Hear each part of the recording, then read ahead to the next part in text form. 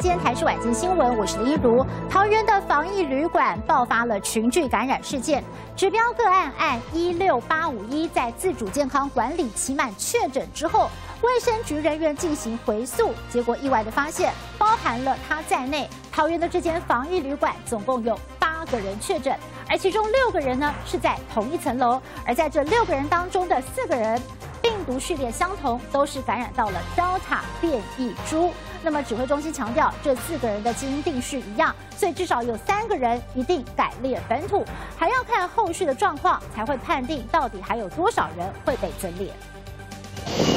穿着隔离衣的小朋友被抱上游览车，一旁防疫人员边拿着名单一一确认。桃园这间防疫旅馆全栋大清空，包含一百一十八间房间，一百二十九名旅客全部都被移出到集中检疫所。十六号下午四点多，全数完成撤离，因为这一家防疫旅馆爆发群聚事件。原来是一名从中国返台的男子，按一六八五一在解除十四天检疫后回到住家自主健康管理，但人都已经回到社区七天，却在期满前快筛。被验出阳性确诊，卫生局立刻展开调查，回溯裁剪他曾经住过的防疫旅馆，发现有八人确诊，包括他住过的六楼同层旅客，总共有六人确诊，五楼跟八楼也各有一名个案，入住时间都有重叠。基因序列比对后，发现六楼确诊的六人中有四人病毒 S 基因序列相同，其他人则是还在检验当中。哪一些是要改列成本土案例，等到整体哈，我们都清查清楚。这四个案例里面就一定。是四减一，一定有三个是本土的。只指标个案按一六八五一，其实早在上个月二十号就从中国返台，但指挥中心进一步追查发现，住在同一层楼越南返台的按一六七六八，其实发病时间更早，在入境当天就有症状，